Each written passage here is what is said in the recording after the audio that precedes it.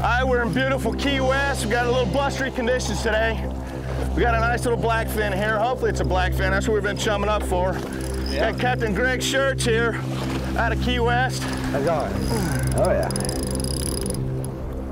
We're giving these fin number 20 spinners here a test today. Ugh. How they hold up against these little footballs on steroids, I guess you call them, huh? Oh yeah, we got them free jumping back here again. What do you, uh, when you describe to your clients, what kind of what kind of pull these things have? What do you what do you try to describe to them? Pretty much down and dirty. They make that run and they just sit down there and hold what on. an awesome run. They go. What's the uh, what's the what's the biggest ones you catch? See, my biggest fish is 37 uh, on 30, which I believe was an all tackle. that's- 42, I think, is out of Bermuda. And I had uh, world record on eight pound uh, spin with women's 38.6. So the black the blackfin are a smaller breed of tuna. They're not like the big granders you get No, uh, off the. God, you'd think Yeah. they would be with this light tackle on them. uh, yeah, we get occasional yellowfins coming through here. Uh, this time of year, they've seen a few. Nobody's really caught one that I know of. Yeah. but pretty much the same technique. And we'll have these 150, 200 pound fish just boiling like that, which if you want to have trouble tying a knot, Well, there's some people describe those big those big yellow fins and stuff like trying to reel in a Volkswagen off the bottom. oh, they are. Yeah, it's pretty, much strictly 80. I think that's about what this one here feels like is a maybe a Volkswagen Rabbit. Yeah. Yeah, I don't know. You got a little ways to go. I don't see any color down there yet. No color. no color. I'll tell you, if your average is 12 or 10 or 12 fish like this, you probably wear your clients out pretty quick on them. Oh, Yeah, yeah, you know it. Yeah, we just finally got them to turn on for us, so we were doing a little better than we were earlier. Yeah, this one's a chunk here, it feels like. It's Yeah, like it's a lot bigger than that other one. Right. Up in the Gulf, they get the bigger fish, I think maybe because they are uh, easier feeding, Yeah. uh, just right behind the boats. They- Those ones that chum up, you smack them with a fly rod, right? Right. What, what they pretty much do is they, uh, when the boats drag at night, they just uh, follow it. Yeah. And in the morning, if the boat doesn't move and just drops anchor and starts culling, Yeah. the fish will stay with them. Uh, so they kind of drag over the bottom and pick them up over. There, we got some color down there, about color. 100 feet. Yeah, that's uh, off Canaveral. They do the same thing with the shrimp boats there. They get out behind those things, and get underneath the chum of them. About 230 feet of water. Is that what we're in? yeah. Uh, 231 exactly. About 230. God, I can't imagine what I could compare this to. That's a good run there, though. All right. Scoping up a little bit, isn't he? What's that? Scoping up a little bit. Oh yeah.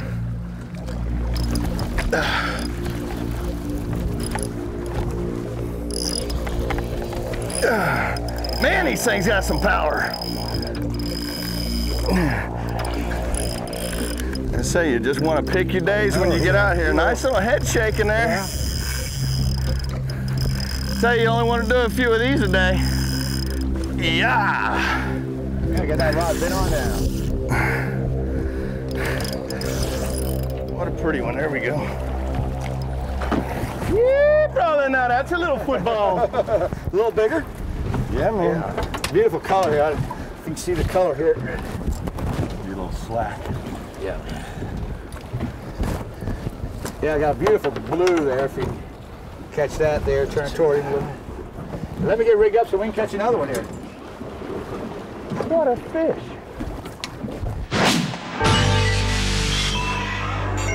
I'm gonna show you what we're using here today. We're using greenies we got up on the up on the real shallow water today, and these what we're doing we're chumming them up out here and just get bringing these fish up off the wreck, and you toss these things out to them and just nail them. They slurp them up like popcorn, but they got a neat smell to them. They smell like watermelon rinds. They're just they're real awesome fish, and you just you cannot. They don't even smell like a fish. They smell like watermelon rinds. Must be why these sailfish like them so much. Or the blackfin tuna. No. Still there? Yeah, he's there. Made it turn back toward the boat. Yeah, he turned somewhere. Yeah, oh yeah. I don't know where he turned, but he turned somewhere. Golly, what a what a run! Oh, I tell you. See, as you can tell, the boat's starting to get a little more crowded here. And Yeah, They'll start breaking them out, but we've put a good little herd on them already. yeah. It looks like everybody's finally gotten their bait. Yeah. We got lucky this morning. Greg here knows the secret bait spot. We're right here. We're right here before any of these guys were. But hey, with all the other boats out here, with the conditions like this, with them chumming, probably brings the fish up a little better with all the chum out here with everybody, right? Right, and let's get too many boats, and then it kind of scatters them Gotta drive them. Yeah. These things will wear you out. He says we do about six to six to twelve fish of these. God, I'm gonna be sleeping good tonight. Yeah. Eric said after we finish with this thing, we're gonna try to start doing some drifts. There's been a lot of sailfish popping up. We're gonna see if we can tangle with one of these big sails running around out here. Already seen two caught. Yeah, man, what power did he say? I don't want to leave these things too much though. kind of changed up a little bit for these tunas. Instead of instead of anchored up, we pulled the anchor and we're kind of drifting now. We've seen a couple of sailfish, and Greg said we can we can try for these sailfish the same time we do the tunas. And I think we got a big tuna on here now. This thing has got some pull, brother. Ugh. Okay, let's see if we can get him around on the other side of the boat. I think he dove under that way. Ah. there he goes. All right. Guys, There he comes. Nice fish. God, these things are powerful. Nice. There we go. Nice. Ah, sunscreen in the eyes. Burning. Get you some slack there. There you go. You toss him back. Let him go for somebody else to catch. all right. And this is one Nice of fish. Now go ahead. There we go. He's off and running. There he is. Yeah, buddy. Ah, what a fish. Ah. Yeah, coming. Yesterday when we met up with uh, with Nick and Greg here, we uh, we were debating whether or not we were going to go and try the big sharks first or not. He saw the wind this morning and said, man, we got to go out and do the blackfin. It's just, it's, it's going to be happening. So we, we caught bait this morning, got a bunch of bait, and uh, you see him chumming them up out here. We're trying to get these blackfins to come up on this wreck. Greg, you told me there's a, what, a German sub wreck down here? Right, we're in about 212 foot of water. There's a German submarine that uh, went down in the war. They sank it with a blimp, and that's what we're fishing. We don't hope we don't catch it, but It's wintertime now, and you, you got to pick your days when you come offshore in the wintertime because you never know never know what kind of conditions you're going to have day to day. Like I said, we, were, we had planned on doing the shark thing this morning, but you can see we're way out now. It's a little choppy, but I think we're going to have some fun today. There he is. Yeah, buddy. Ah, what a fish. Ah. Yeah, it's coming.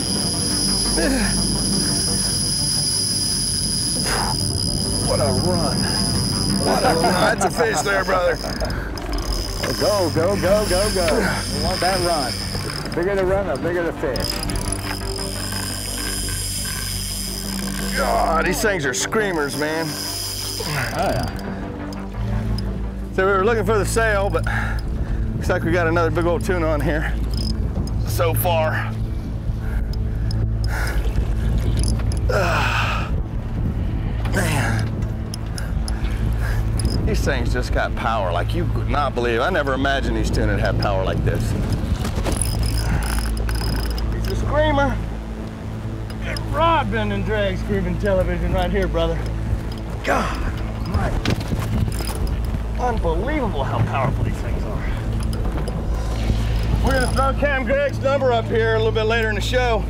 So y'all be ready to write this down. This is a ball. This is something you just got to do. Ugh. especially when you're freezing up there up north. Hey, I'm breaking a sweat. Here it is, what, January what? Yeah, I got some color down there. God. This is the toughest one of the day here. He's getting a little tired too. Yeah, I ain't wearing me out a bit.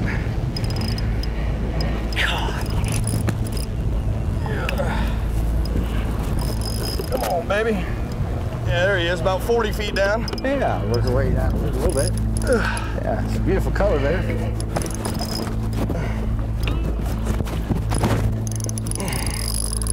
What a fish. God. They don't want to give Come up. on, baby, head up, head they up. Make that, yeah, little, they like... make that little circle. That's a nice one there. Yeah, that's pretty good. there. There he is. Oh, yeah. There he is. Come on up this way, Greg. Yes, see some beautiful blues. Oh, amazing. Sit him right up here. Let's get a good look at that fish. Yeah, it's beautiful, aren't they? Look at the eyes on this thing. That thing. They're just eating, eating swimming machines. Beautiful little blue streak there. Yeah! It was a catch. God, this thing is powerful.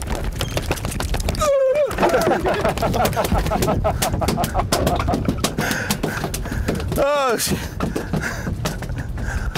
What can I say? They're slippery like a fish. There you go. Furry hook one. Man, what a powerful little fish. These things are a ball.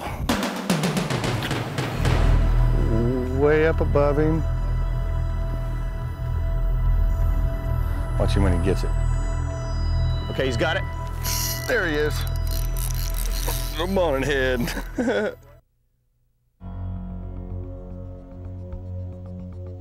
The Florida Keys have the sights and sounds of a fisherman's dream. The combination of the fishing and scenery makes for some good therapy in the middle of winter. We poled across the backcountry and rode the swells of the ocean, and I'll never forget our trip to the Florida Keys. Our Key West introduction was a hair raising experience. Scott Colpin took us to the outer flats for barracuda. I've caught a lot of cuda in deep water, but to experience their speed, their power in three feet of water, incredible. Here he comes. Yeah!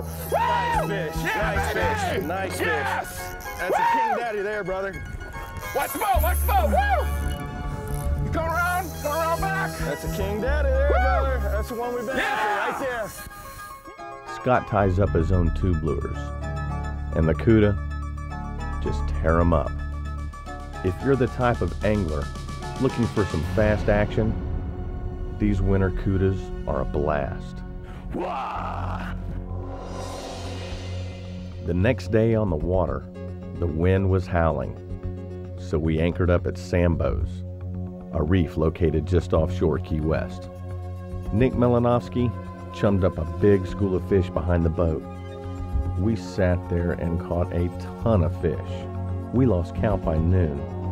Back at the dock, the big Cero mackerel weighed in at 12 and a half pounds, three quarters of a pound shy of the current IGFA record. What did he go? About 12? About 12 pounds. Man, what a fish. That's got to be the biggest cero. That's a heck of a got. cero, yeah. In the deep waters, 30 miles off Key West, Greg Sheretz put me on some of the strongest fish I've ever challenged. For their size, blackfin tuna really scream off the drag, and they'll fight you all the way to the box. There he is. There he is. Come on up this way, Greg. Yes, see some beautiful blues. Oh, amazing. Sit him right up here. Let's get a good look at that fish. Yeah, it's beautiful, aren't they? Look at the eyes on this thing. That thing. They're just eating, eating swimming machines. The only downside to the Keys is having to leave. While heading home, we noticed the winds that drove us off the water in Key West were non existent in Islamorada. It had turned into one of those afternoons that you just have to get out on the water.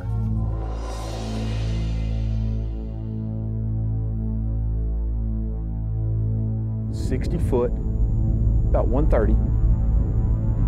Moving to the right. Cast to the right. Little bonnet head cruising. Way up above him. Watch him when he gets it.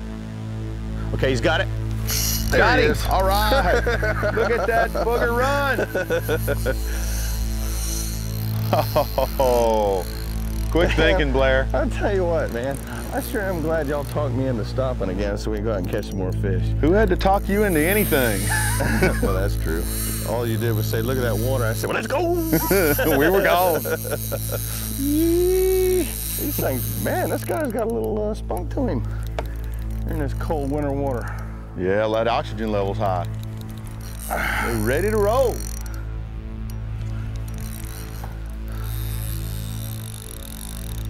A little bonnet head. Look at him fight. He was tearing the drag off. Hey, they're good to string, scream out the drag here for a little bit. A lot of people confuse these things with a, uh, with a hammerhead shark because of the way the head is. But as you can see, it doesn't have the great big hammers on the head like a uh, like a hammerhead. This one's called a bonnet head, and he's right in the corner of the mouth. Go ahead, let me see those pliers. Yeah, here you go, man. he's smiling, but I don't think he's too happy. He, little bonnet head. These things are these things are a ball. Look at that, he broke the hook. Let him keep that one. See you later, Mr. Bonnet Head. Like I said, we were on our way home. We just couldn't pass it up. Let's get another one, man. Let's do it. The wintertime down here, the bite can be kind of slow, so we're using live shrimp, and I'm going to show you how to we rig them weedless here. We're taking, we just kind of snip the tail off of it, come up the top, pull the hook all the way through, and then back inside the top of the shrimp. That way it makes it totally weedless. It looks like he's just crawling along the grass.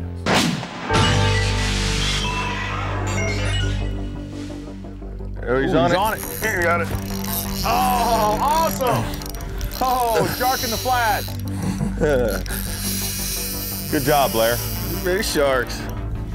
Oh, he's coming to me. He was gonna ram that shrimp. He ate the shrimp. Little uh, DOA shrimp. Yep, little DOA guy. He loved it. Jumped all over it. It's God, a nice little run. There's a lot of them in here. Look, there's We four were or getting five blown right off around the flats here for the past couple of days.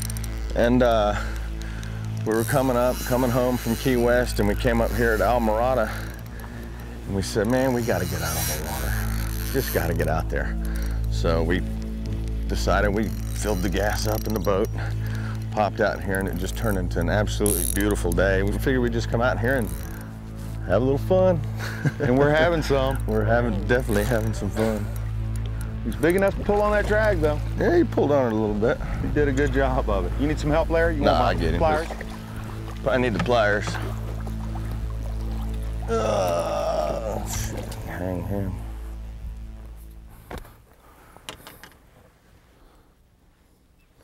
Get him right in the side. Funny looking sharks, I tell you. Just a little Islamorada bonnet head. Something to have some fun with instead of going home. They even give you a smile. They're a blast. Catch our show on the World Wide Web 24 hours a day, 7 days a week, anywhere on the planet at addictivefishing.com. Man, I tell you, we had a ball down here in Key West. Stopping off on the way back, we saw the nice weather, and when you're addicted to fishing, when you had weather like we had today when we were out catching those bonnet heads, and after catching all them mogans down in Key West, tell you what, we just had a ball. And if you happen to miss it, catch it down on the website at addictivefishing.com. See ya.